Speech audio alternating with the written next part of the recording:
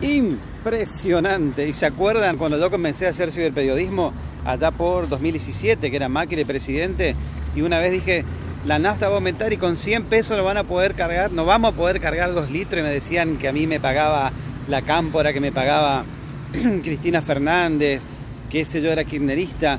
Y después comencé a mostrarte toda la mierda que iba a seguir pasando y, y te comparé con otros países para que entiendas que acá te iban a cagar y ahora te siguen cagando. Y yo podría seguir haciendo periodismo 70 años más en Argentina y esta mierda va a seguir ocurriendo. Porque fíjate lo que está, 209, 259 pesos la nafta, la B-Power, el diésel 240, el, el otro 312 mangos. Imposible, ¿entendés que es imposible? Porque te hacen el verso, te dicen, eh, paguemos lo que paga el mundo, como dijo Macri en su momento.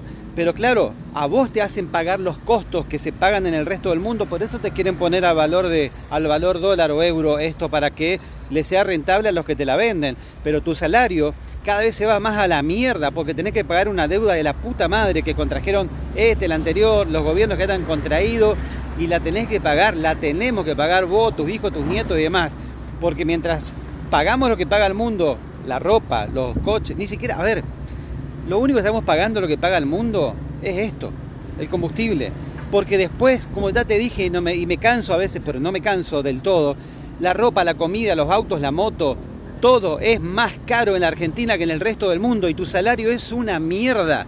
Tu salario en euros, en dólares, comparados como hay que hacer para entender tu capacidad de compra y tu calidad de vida, tu salario es una mierda, porque se encargaron de convertirlo en una mierda. ¿Sabes por qué? Porque hay que sacarte a vos todos los dólares necesarios para pagar las deudas. ¿O cómo pensás que se le paga al fondo? Con lo del campo, sí, todos los quilombos que arman porque se les retiene, por estas cosas, pero también bajándote los salarios en dólares para poder pagar las deudas que contrajeron los tipos de siempre, los millonarios de siempre, que se hicieron ricos siempre en la Argentina. Y nosotros cada vez más pobres. El dólar sube, aumentan los precios porque el dólar sube. El dólar no sube, sube la nafta, aumentan los precios porque sube la nafta. Hoy por hoy te ratifico, te lo confirmo, Argentina es otra vez un país en el que hay muy pocas cosas más baratas que en el resto del mundo. ¿Sabes qué es barato para un turista? El hotel, tomar un taxi y comer afuera. Después ni siquiera compran ropa acá porque les sale más barata la ropa en los países en los que viven. Y a vos te sale carísimo todo en el país en el que vivís. Soy José Viñuela, hago periodismo, hago lo que quiero, digo lo que pienso, siempre. Hasta chao.